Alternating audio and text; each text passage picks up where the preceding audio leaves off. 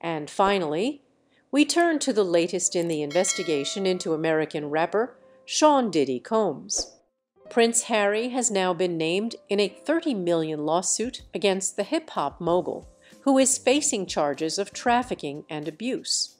The lawsuit suggests that the Duke of Sussex was one of the guests at Combs' infamous parties, which were allegedly attended by workers and underage girls.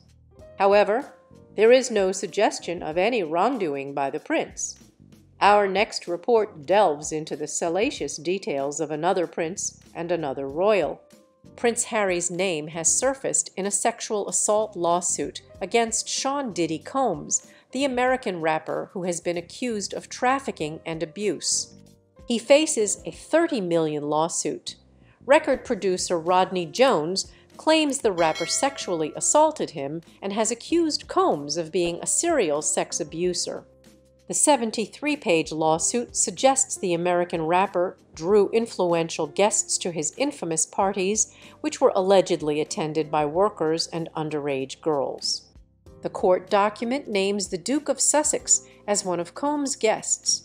However, there is no suggestion of any wrongdoing by the prince. He has only been named as one of the examples of Combs' celebrity guest lists, which included famous athletes, political figures, artists, musicians, and international dignitaries. Earlier, the American billionaire was pictured with Prince Harry and Prince William after performing at the concert for Diana on the late princess' birthday in 2007. In 2012, Combs said that he wanted to hang out with Prince Harry during his UK trip, but there have been no reports of any further association between Prince Harry and the American rapper. In November of last year, Combs' former girlfriend, R&B singer Cassie, also sued him, accusing the rapper of raping her and drugging her for 10 years. Her suit was settled a day later. Combs is currently facing similar lawsuits from three other women, who allege that he sexually abused them and participated in revenge pornography.